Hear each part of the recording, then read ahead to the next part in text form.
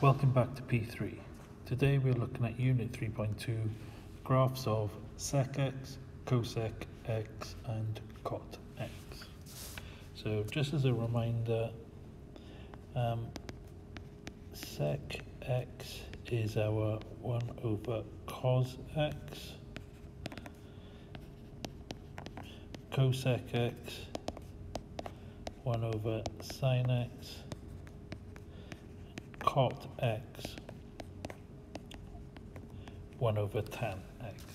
Now to draw these graphs you don't really need to necessarily learn the new ones you just have to understand what's happening to the original graphs and that will enable you to draw the new ones.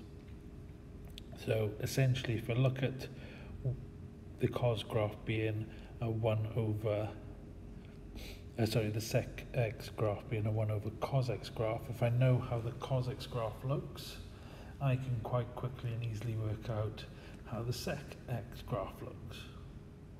Now I'm going to do this for cosec. Um, and what I've done is I've already drawn sine x ready. So here we have my graph of y equals sine x. And we want to draw y equals cosec x. So I know this is 1 over sine x. Okay, so there's a few key points that I need to be aware of. Firstly, where sine x equals 0, as in at 180 degrees, 1 divided by 0 I can't do. Okay, so what that means is at that point, there is going to be no solutions that exist, so it's going to be an asymptote. So I can put that in ready straight away. There is where I'm going to have an asymptote. And this will be the case everywhere that sine x equals 0, because I cannot do 1 divided by 0 okay and so on. And obviously this graph does go on forever in kind of each direction. Now next thing I need to look at is what's happening at each point and as we head towards what is now my asymptotes. So at 90 degrees if I look up here this is 1 and 1 divided by 1 is still 1 now, as I go down towards this zero, I'm dividing by a number that is between 0 and 1. So for example, when I'm down dividing by half, I get 2.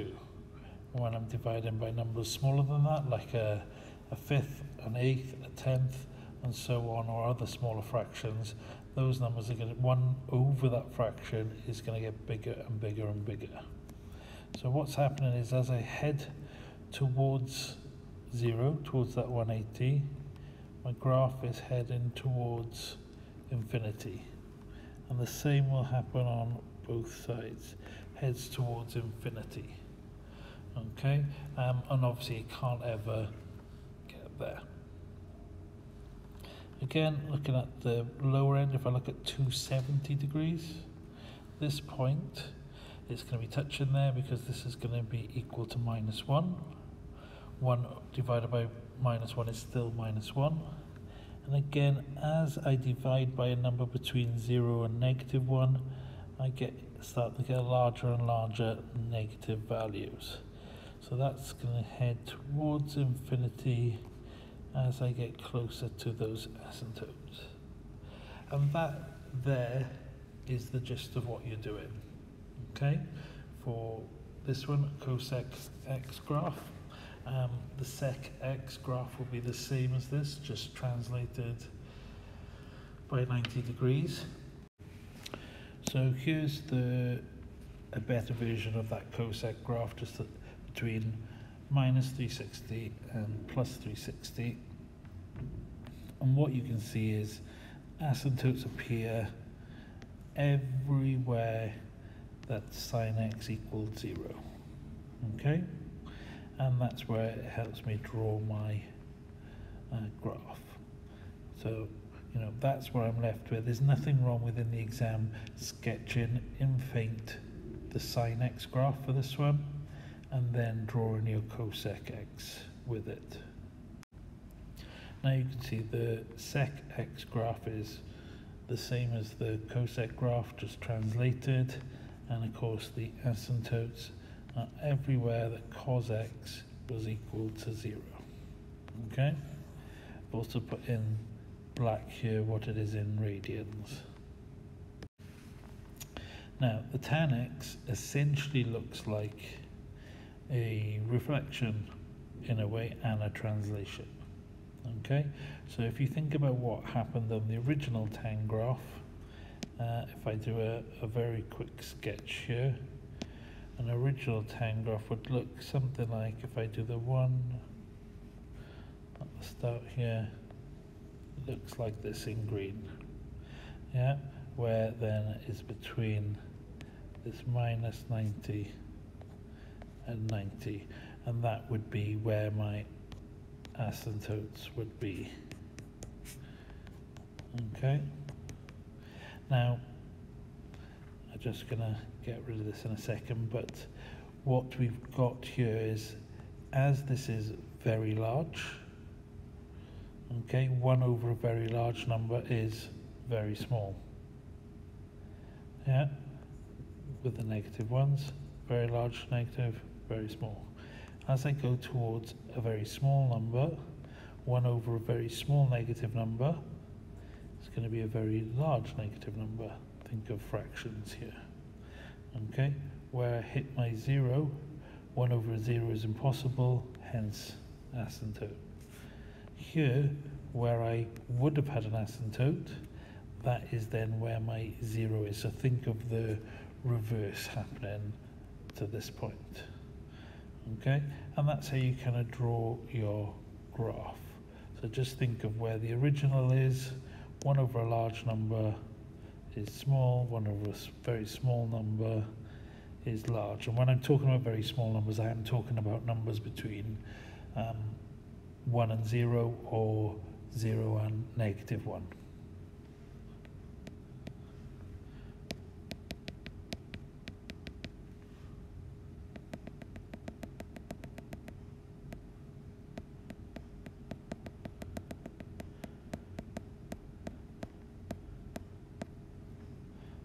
Just getting rid of that so you can see the original graph again. Okay.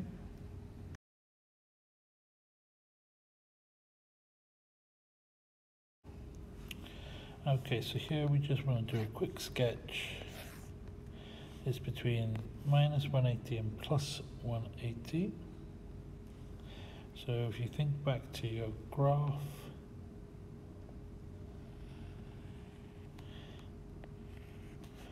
got something like this. I'm Just going to do a sketch, rough sketch. And of course, I've got an asymptote at minus 180 and an asymptote at 180. And there we have it. Okay, now we've got a y equals negative x graph. So that's going to then give me something like this. So just going to cross in two places. Okay, so when you think of it, y equals cot x and y equals negative x. Putting these together, you get cot x equals negative x. So cot x plus x equals 0, which is what we were looking at. So all we're doing is looking at where these two graphs intersect.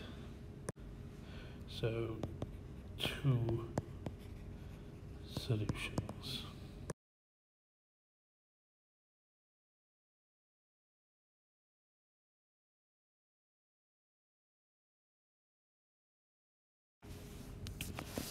Now with this one, I just did a very faint line at 1 so here's a sketch of 3 plus 5 cosec x I've done for you here. Uh, remember 5 cosec x means there's a stretch by multiplying the y values by 5 first. So where it would cross, where that minimum point, if I look at this point here, would have been at 1 times by 5 takes it to 5, and then add 3 takes it to 8. This one at minus 1 times by 5 is minus 5, add 3 takes it to minus 2. So that's where I get these points for here. Now, I need to deduce the range of values for which 3 plus 5 cosec x equals k has no solutions. So there's going to be no solutions for everything underneath this line and above this line. Okay, so when I'm looking at it, it's going to have no solutions when I'm looking at less than y equaling 8. So that this line is y equals 8, so less than that. But I also want greater than negative 2. So my y is going to be greater than negative 2 but less than 8. Now since we're looking at k, my final answer should be k not y. Okay, so that's just making sure it's finished off properly. If you found the video useful, please like and subscribe. Um, feel free to leave some comments on anything you want to see. And don't forget, new videos drop in daily.